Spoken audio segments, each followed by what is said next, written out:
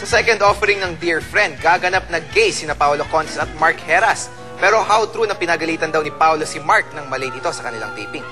Ganun talaga kaming mga artista. Pinapagalitan? Ate, nangiling. Check!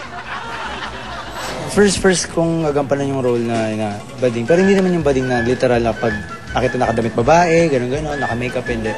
Ano ako eh, um, paminta. Hindi ko siya napagalitan kasi pagdating na pagdating ko, alas 9 yon eh, nintay ko lang, naghihintay lang ako. Tapos pagdating niya, nabalitaan ko na agad na galing siya ng shooting na napakap ng alas 6 ng umaga. Hindi, galing ako shooting. Galing ako yung last last shooting namin ng indie film. Ay, labangan yung Sapi.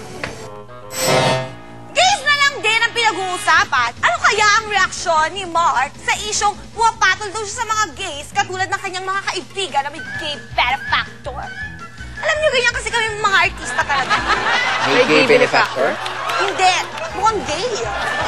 Siguro, hindi hindi maalis yun na, di ba? Before nga, may na-issue ako na parang may nag-offer daw sa akin na, di ba? Kahit dinner lang. Pero never, never akong papadal sa ganun. Up now. Expectant mom Jeneline Mercado can't contain her excitement. Halos dalawang buwan na lang at magiging ganap na siyang ina to a baby boy who's yet to be named. Ito ang una at eksklusibong sulyap sa baby room ni Jen.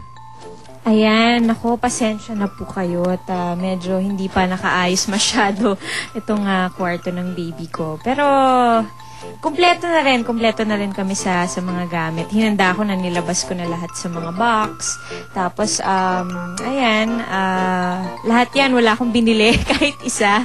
Lahat yan galing sa mga nagmamahal sa akin, sa mga kaibigan ko, sa mga tumutulong sa akin, sumusuporta sa akin. Ah, yan, yung iba galing sa Star Talk. Unlike most baby rooms, sa kwartong ito na inihahanda ni Jen, mayroong drum set, gitara, at iba pang musical instruments. Pag medyo malaki-laki, natuturuan ko na mag-drums, mag-gitara. Ayan, tuturuan ko na rin siyang mag-violin. Mukhang importante sa first-time mom ang magkaroon ng mahigit sa isang kuna. Ah, etong crib niya dalawa to, isa sa kwarto ni mama, isa sa kwarto, dito sa kwarto niya. Kasi, yung pag ah, gabi, dun siya sa kwarto ni mama, lalo na pag may trabaho ako. Tapos, ah, pag, ah, pag hapon, or pag ano, pag ah, walang ginagawa, dito lang siya sa room niya. Dalawa yung stroller, pero yung isa hindi pa dumarating. sa car, oo, meron na. Marami na. Kumpleto na talaga. Wala na akong bibilhin pa. Lahat yan galing sa mga kaibigan ko.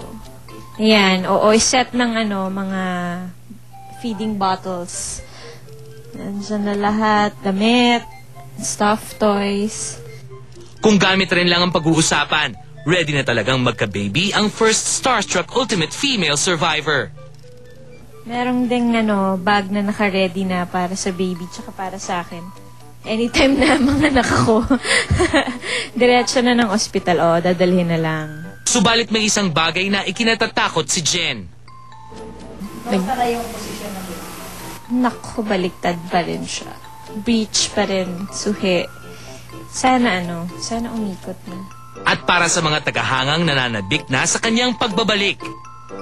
Salamat sa ano sa support at saka ano um wag sila mag-alala dahil malapit na malapit na malapit na malapit na ulit ako lumabas tapos ah, abangan nila yung yung unang labas ko syempre sa sa GMA pa rin Tsaka ano, tulungan niyo ako na magdasal, syempre, na safety yung, ah, safe yung delivery ko.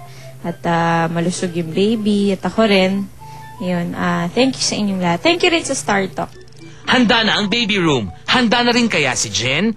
Alamin exclusively through Fanatext. Subscribe now. Text Jenilyn to 4627.